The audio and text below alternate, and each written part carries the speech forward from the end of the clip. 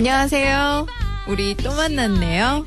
청취자 여러분, 저는 수요일 우승자 다정다감 레지던트 임선혜입니다. 방송 후에 주변에서 아니 네가? 아니 너한테 그런 면도 있었어? 하는 반응인데요. 저도 이렇게 제가 방송에 나와서 쟁쟁한 도전자들 사이에서 우승을 했다는 게 믿어지지도 않고 얼떨떨하기만 합니다. 다시 찾아온 시간 보다 열심히 하는 모습 보여드릴 거고요. 이 벅찬 도전의 느낌까지 전달할 수 있도록 청취자 여러분들과 함께하는 방송 하도록 하겠습니다. 임선혜였습니다.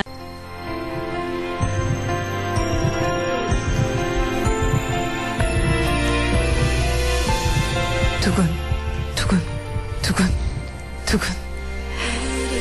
평소에 느리게 뛰던 심장이 빨리 뜁니다. 들썩, 들썩. 엉덩이를 의자에 붙이고 있을 수가 없네요. 네, 우리 기억 속 어딘가에 있는 소풍 가기 전날 밤 모습입니다. 내일은 비가 올까부터 무슨 옷을 입어야 할지 그 많은 걱정, 설레임에 잠들기가 쉽지 않았죠. 요즘 나를 그렇게 설레게 하는 게 있던가요? 익숙해진 일상에 늘 하는 일, 안정 심박수 60에서 100 사이를 지켜주는 내 심장. 진정 앞으론 우리의 심장이 두근대는 이유가 심질환 밖에는 없는 건가요? 아니에요. 아니죠? 우리 이 옷 저 옷을 갈아입으며 스타일링 하던 멋쟁이들이잖아요.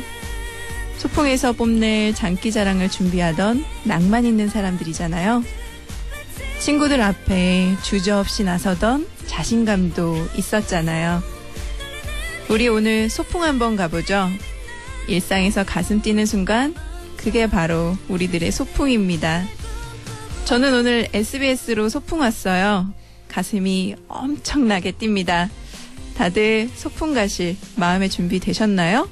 자, 김동률이 부릅니다. 출발!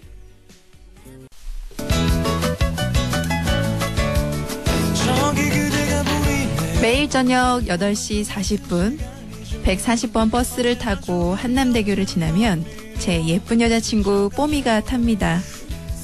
새하얀 피부는 아니지만 맑고 깨끗한 얼굴을 갖고 있고요. 쌍꺼풀 진 큰 눈은 아니지만 반짝반짝 빛나는 눈동자를 가졌습니다. 모델처럼 늘씬하진 않지만 아담하고 귀여운 체구를 가진 그녀는 나만의 여자친구죠. 그녀는 절 알지 못합니다. 저도 그녀의 이름을 모르죠. 그냥 다만 제가 그녀를 뽀미라고 혼자 부릅니다. 왜 뽀미냐고요? 우리 뽀뽀뽀 뽀미 언니 알잖아요? 버스에 타는 그녀를 처음 봤을 때 어릴 때 동경했던 뽀미 누님처럼 귀엽게 웃는 그녀 모습에 한눈에 반해버렸거든요. 그녀는 특히 통화를 하면서 잘 웃는데요. 그 웃음을 볼 때마다 저는 놀이기구를 타는 것처럼 가슴이 울렁거리고 머리도 어질어질하죠. 그녀에 대해선 아는 게 거의 없어요. 학생인지 회사원인지 옷차림만으론 판단하기 힘들더라고요. 가방 크기가 작은 것으로 보아 회사원이겠지 짐작만 하고 있습니다. 2개월 남짓 멀리서 바라만 만든데요. 올 가을이 가기 전에는 용기 내어 꼭 마음을 전할 생각입니다. 조금만 기다려라. 봄이야. 오빠 간다. 자 이렇게 해서 네 번의 도전자 아, 아직 안 끝났습니까? 코멘트 안 했는데요. 제가 시간이 쫓겨서 이래요. 네. 네.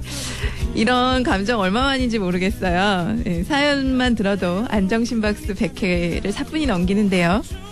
왜 사랑은 운명이라고 하잖아요. 우리 사연남의 운명은 아마 버스 안에 그녀일지 모릅니다.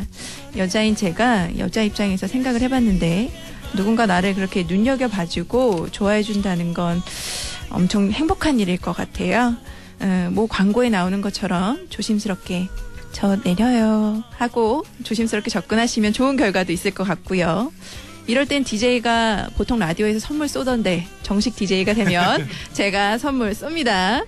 어, 사연남의 용기에 박수를 보냅니다. 모두 박수! 임선혜 씨입니다.